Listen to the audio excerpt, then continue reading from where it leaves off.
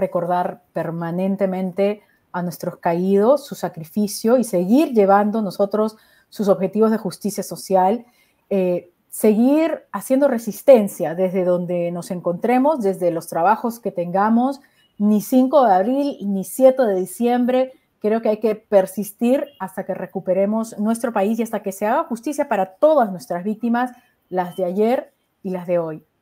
Entonces sí creo que es necesario estar siempre revisando, porque es la única manera de enfrentar al negacionismo, de enfrentar a quienes quieren y pretenden reescribir la historia y limpiarse de los crímenes y de los delitos que cometieron, como lo intenta hacer Alberto Fujimori. Y creo que eso es importante porque eh, políticamente el Fujimorismo sigue activo, tiene presencia en el Congreso, está cogobernando ahora con Dina Boluarte y creo que hay que señalar que eh, lo que viene haciendo este gobierno en cuanto a violaciones a los derechos humanos, en cuanto a corrupción, en cuanto a toda esta desvergüenza en la manera como gobiernan y la falta de claridad, es herencia del Fujimorismo, es el Fujimorismo gobernando. Seamos muchos o pocos, seguimos resistiendo y creo yo que es la única manera de enfrentar a regímenes autoritarios como el que vivimos y es la única manera de recuperar el país que todos queremos. Los familiares también hemos aportado a la historia de nuestro país desde nuestra lucha contra la impunidad y seguiremos haciéndolo, no solo por los casos de los 80 al 2000, sino también por los casos recientes de violaciones a los derechos humanos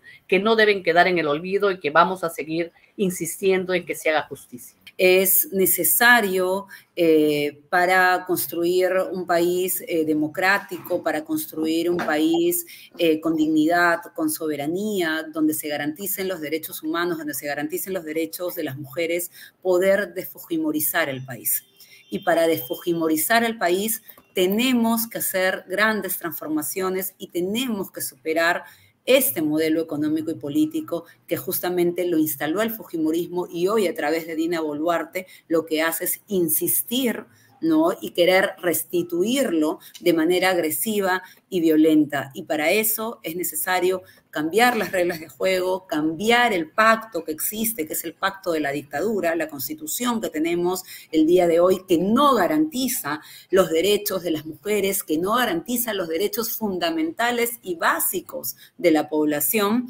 es producto de una dictadura, es producto del Fujimorismo y es lo que sostiene ¿no? este modelo y es necesario cambiar la constitución del 93 y que sea el pueblo peruano quien ha sido vulnerado, quien ha sido violentado, quien ha sido excluido en todas estas décadas, quien pueda tener la voz de escribir unas nuevas reglas de juego para que justamente la democracia no sea ¿no? una ilusión de algunos meses, de algunos años y siempre en peligro de ser erradicada, sino sea una realidad y una realidad de convivencia donde la ciudadanía y todos los peruanos y peruanas puedan eh, ejercer sus derechos en paz. ¿No? Justamente el peligro y, la, y la violencia que vivimos y que no nos deja vivir en paz tiene que ver con esta persistencia, eh, neoliberalización y fujimorización de la sociedad peruana.